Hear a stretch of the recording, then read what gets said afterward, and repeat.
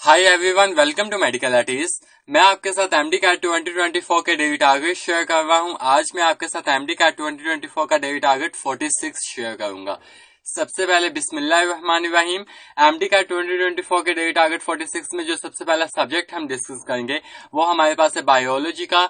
Biology में जो chapter हमने पीएमडीसी के सिलेबस के अकॉर्डिंग जो स्टार्ट किया हुआ है एंजाइम्स उसका आज हम टॉपिक डिस्कस करेंगे classification of enzymes classification of enzymes का ये टॉपिक हमारे पीएमडीसी के सिलेबस में क्लियरली मेंशन नहीं है, लेकिन ये जो टॉपिक है हमारे पास, ये हमारे एंजाइम्स के चैप्टर से रिलेटेड है। तो समटाइम जो हमारी एडमिटिंग यूनिवर्सिटीज हैं, वो अपने एमडी कैट के क्वेश्चन पेपर में यहाँ से एक क्वेश्चन लाजमी दे देता होता है। ये बहुत से बोर्ड्स में ये टॉपिक नहीं लिखा हुआ है, जैसे कि अगर हम पीटीबी के, की ही मिसाल ले लें तो उसमें जो बायोलॉजी की बुक है, उसमें ये ये टॉपिक नहीं लिखा हुआ। तो अदर बोर्ड्स में भी यही होगा, लेकिन अगर आप फेडरल को देखें तो फेडरल में ये टॉपिक एंजाइम्स के चैप्टर में लिखा हुआ है।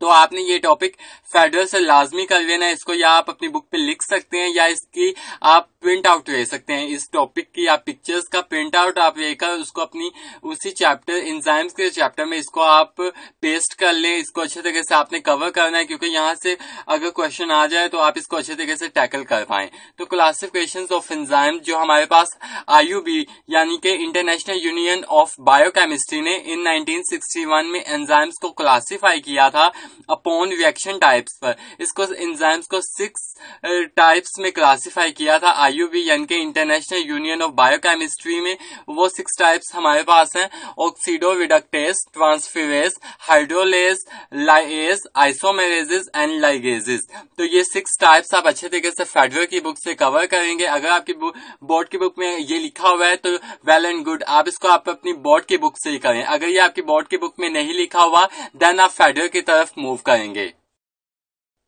जो हमारे पास आईयूबीबी यानी कि इंटरनेशनल यूनियन ऑफ़ बायोकेमिस्ट्री में जो की पहली टाइप जो हमारे पास एंजाइम की है, वो हमारे पास है ऑक्सीडो विडक्टेज इस टाइप में आप ऑक्सीडेशन एंड विडक्शन दोनों के बारे में पढ़ेंगे। इस, ये जो हमारे पास टाइप्स हैं, ये सिक्स टाइप्स में इनकी जो एग्जाम्पल्स हैं, वो मोस्ट इंपॉर्टेंट है। क्योंकि एग्जाम्पल्स मोस्टली एमडी कैट के पेपर में आती है, जैसे कि वो पूछ सकता है साइटोक्रोम ऑक्सीडेज ये हमारे पास जो एग्ज़ाम्पल है, ये कौन सी एंजाइम्स की टाइप की एग्ज़ाम्पल है? तो ये ऑक्सीडो विडक्टेज इंजाइम की टाइप की एग्ज़ाम्पल है। देन उसके बाद उसके बाद हमारे पास नेक्स्ट टाइप है ट्रांसफेज जिसकी एग्ज़ाम्पल है हेक्सोकाइनेज देन हाइड्रोलेजिस एंजाइम की टाइप है, जिसमें हमारे पास एग्ज़ाम्पल आ जाती है।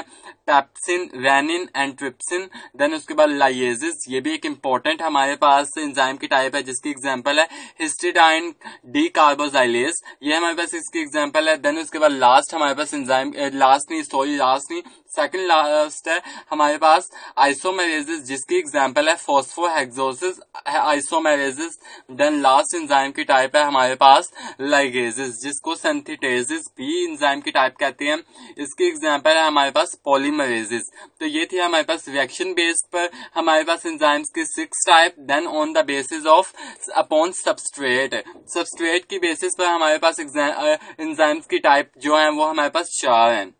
जिसमें पहली टाइप है हमारे पास proteases then lipases then carboxyl carbohydrases and then nucleases इसमें भी हमारे पास इसकी मोस्ट इंपॉर्टेंट जो इसकी एग्जांपल्स हैं, वो आपने अच्छे तरीके से पढ़नी है। जितनी भी इंफॉर्मेशन इस टॉपिक में लिखी गई है, वो आपने पढ़नी है। देन मोस्ट इंपॉर्टेंट यहाँ पे एक बॉक्स दिया गया है हमारे पास।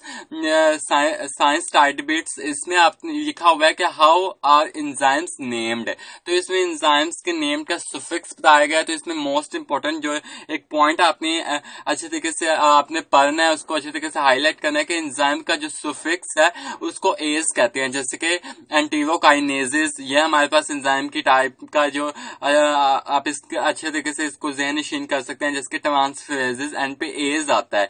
तो इंजाइम का जो हमारे पास सुफिक्स है, वो एज है। तो ये भी सम टाइम पेपर में क्वेश्चन आ सकता है कि वो नीचे दिए गए इंजाइम का जो सुफिक्स है, वो कौन सा है? तो एज उसमें जो होगा वो हमारे पास वाइट उसका आंसर होगा। तो ये आपने टॉपिक कवर करना है फेडरल की बुक से। देन उसके बाद स्पोर्ट्स की ये आपकी बुक है, उसके जो आपकी प्रोविंशियल बुक है फेडरल की बुक पर, जो लास्ट पर हमारे पास मोस्ट इंपॉर्टेंट जो एक्सरसाइज दी गई एक्सरसाइज के question fill in the blanks और समरी दी गई होती है। उसको आपने अच्छे तरीके से पढ़ना है, तमाम एमसीक्यू उसको आपने सोल्व करना है। जितनी भी इंफॉर्मेशन एंड पे हमारे पास लिखी गई होती है, जिसके multiple choices fill in the blanks और समरी वगैरह। उनको आपने अच्छे तरीके से पढ़ना है हाईलाइट करना है, क्योंकि सम टाइम मोस्ट इम्पोर्टेंट जो हमारे पास इन्फॉर्मेशन होती है, वो समरी और एमसीक्यूज और फिल इन द ब्लैंक्स में ही लिखा होता है, क्योंकि ये जो हमारे पास समरी वगैरह होती है result summary fill in the blanks and fill in the blanks जो हमारे पास होते हैं मल्टीपल चॉइसेस ये हमारे पास पूरे चैप्टर की पूरा एक निचोड़ होती है। तो आपने इसको कवर करना है, इससे आपके कॉन्सेप्ट भी बिल्ड होंगे। और अगर यहाँ से क्वेश्चन आ जाए तो वो तो वेल एंड गुड आपका बहुत ही अच्छा यानी कि हो जाएगा, आपका जो एक मार्क्स आपको मिल जाएगा। तो ये था आपका बायोलॉजी का टारगेट फोर्टी देन हम केमिस्ट्री के टारगेट फोर्टी की बात कर लें। देन केमिस्ट्री के टारगेट 46 की बात कर रहे हैं तो कल मैंने आपको acid catalyzed addition reaction start करवाए थे। आज आप उसका पार्ट नेक्स्ट पार्ट करेंगे रिएक्शन का एल्डिहाइड एंड कीटोन्स जो हमने चैप्टर स्टार्ट किया हुआ है अकॉर्डिंग टू पीएमडीसी सिलेबस इसमें मोस्टली रिएक्शन हैं इस चैप्टर में तो इन्हीं में से क्वेश्चन आते हैं। तो आज का जो आपने रिएक्शन कवर करना है, वो आपके पास रिएक्शन है। रिएक्शन ऑफ़ अमोनिया डेरिवेटिव तो ये आपने कवर करना है मोस्ट इंपॉर्टेंट है। इसमें अमोनिया का रोल एल्डिहाइड एंड कीटोन्स का, ये मोस्ट मोस्ट इंपॉर्टेंट रिएक्शन है, इसका जनरल रिएक्शन आपने करना है। इसकी जितनी भी इंफॉर्मेशन हमारे पास लिखी गई है, वो आपने करनी है। देन उसके बाद नेक्स्ट हमारे पास एक मोस्ट इम्पोर्टेंट रिएक्शन आता है।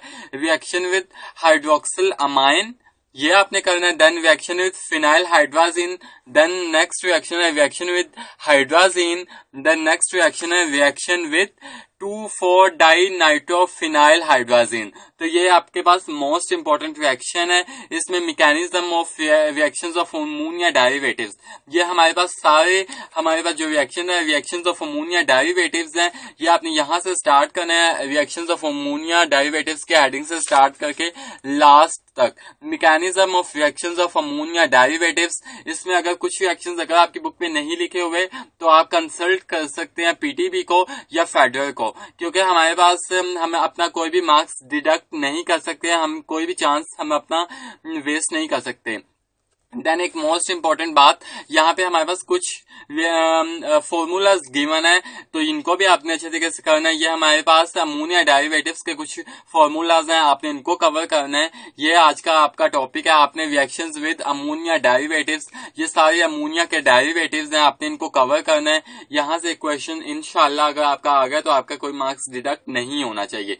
इसमें जो आपने खास तौर पर ध्यान रखना है, आपने जितनी भी हमारे पास, जैसे कि हेडिंग के नीचे इन्फॉर्मेशन देखे मैंने यहाँ पे हाईलाइट की हुई है। ये एमटी कैट में पूछा गया था कि aldehyde and ketone react with dash to form oximes in the presence of an acid तो हाइड्रोक्सिल अमाइन के साथ रिएक्ट करेगा एल्डिहाइड एंड कीटोन्स तो हमारे पास ऑक्साइंस बनाएगा। इस तरह से आपने क्वेश्चंस को रिलेट करते हुए पढ़ना है।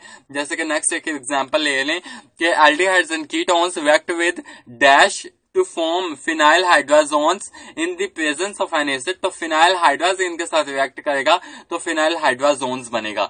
तो आज का आपका यही टॉपिक है रिएक्शन विद अमोनिया डेरिवेटिव्स ये था आपका केमिस्ट्री का टारगेट 46 देन हम फिजिक्स के टारगेट 46 की बात कर लें। देन फिजिक्स के टारगेट 46 की बात कर लें तो इसमें जो आज आपने न्यू चैप्टर हम आज स्टार्ट करने लगे हैं। According to P T B ये चैप्टर 20 है तो लेकिन आपके अदर बोर्ड्स की बुक्स में ये चैप्टर की नंबरिंग वेरी कर सकती है, कोई डिफरेंट नंबरिंग हो सकती है, लेकिन चैप्टर आपने सेम यही करना है। अटोमिक स्पेक्ट्रा ये सब सभी बोर्ड की बुक में ये चैप्टर सेम ही नेम होगा। अटोमिक स्पेक्ट्रा या हमारे पीएमडीसी के सिलेबस में इसको स्पेक्ट्रा स्पेक्ट्रा हमारे पास नेम दिया गया चैप्टर का। इसमें हमारे पास सब टॉपिक एक ही दिया गया एटॉमिक स्पेक्ट्रा या लाइन स्पेक्ट्रम ये हमारे पास ये एक मोस्ट इम्पोर्टेंट चैप्टर है। इसमें से दो एमसीक्यूज आने होते हैं। तो दो एमसीक्यूज भी बहुत ही इम्पोर्टेंट है। हमें एक, अगर बच्चा उसके 190 मार्क्स हैं, और अगर एक बच्चा ये चैप्टर नहीं करता तो उसके 190 मार्क्स आएँगे। अगर कोई बच्चा ये चैप्टर कर लेता तो उसके दो मार्क्स आएँगे तो 192 मार्क्स आपका एग्रीगेट 100 बच्चों से ऊपर आप चले जाएँगे। तो आपने इस चैप्टर को निग्लेक्ट नहीं करना है। छोटा सा चैप्टर है। आपने इसको अच्छे तरीके से कवर करना है। मैं आपको इसका एक अच्छा सा आपको मैं तरीका बताऊँगा इस चैप्टर को करने का। ये चैप्टर आपने सबसे पहले जो इन्फॉर्मेशन हमारी बुक में लिखी गई है, मैं अपनी बात हाँ अपनी वीडियोस में कहता हूँ कि आपने न्यूमेरिकल्स को ज़्यादा फोकस नहीं करना, क्योंकि बच्चे जो होते हैं जब मेरा भी टाइम था तो मैं भी न्यूमेरिकल्स की को ही फोकस करता था कि न्यूमेरिकल्स कैसे होंगे मुझे मेरा फिजिक्स का पोर्शन कैसे कवर होगा। तो बाद में मुझे रियलाइज़ हुआ कि जो हमारे पास थेरी बेस्ड क्वेश्चन होते हैं उसकी जो वेटेज होती है जैसे कि अगर हम बात करें फिजिक्स की इसमें 54 क्वेश्चन आने हैं जिसमें से अगर हम बात करें तो जो हमारे पास 40 टू 40 टू 45 क्वेश्चन जो होंगे वो थेरी बेस्ड होंगे। आप मोस्टली फेडरल का पेपर देख सकते हैं यूएचएस का देख सकते हैं। यूएचएस में मोस्टली जो uh, होते हैं न्यूमेरिकल्स की रेशो वो 19 या 14 तक जाती है लेकिन 30 टू 35 क्वेश्चन फिर भी थेरी बेस्ड ही रहते हैं।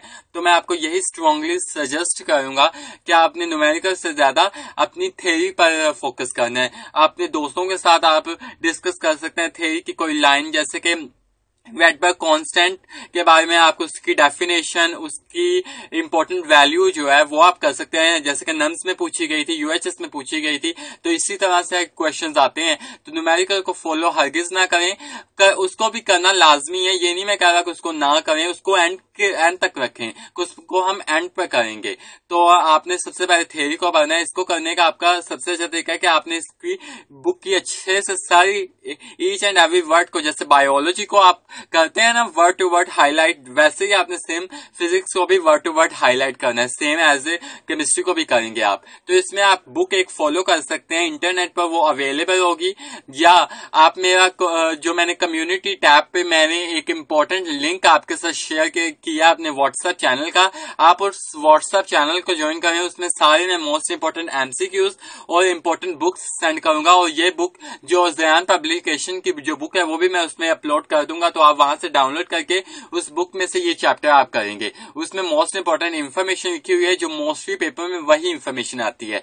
तो चलिए, आज ये चैप्टर, न्यू चैप्टर हम स्टार्ट करने लगे हैं अटोमिक स्पेक्ट्रा बिस्मिल्लाहिर्रहमानिर्रहीम, क्योंकि ये एक इम्पोर्टेंट हमारे पास तो अटोमिक स्पेक्ट्रा चैप्टर में जो आज आप टॉपिक कवर करेंगे, वो आपके पास टॉपिक है एटॉमिक स्पेक्ट्रा का इंट्रोडक्शन एटॉमिक स्पेक्ट्रा के इंट्रोडक्शन में आप स्पेक्ट्रोस्कोपी क्या होती है, उसकी टाइप्स आप पढ़ेंगे स्पेक्ट्रा के टाइप्स जो band spectra and disc discrete और लाइन स्पेक्ट्रा हमारे चैप्टर में लाइन स्पेक्ट्रा और अटोमिक स्पेक्ट्रा को ही डिस्कस करना है तो अटोमिक स्पेक्ट्रा का आप जितनी भी इंट्रोडक्शन इन्फॉर्मेशन लिखी उसको आप हाईलाइट करेंगे.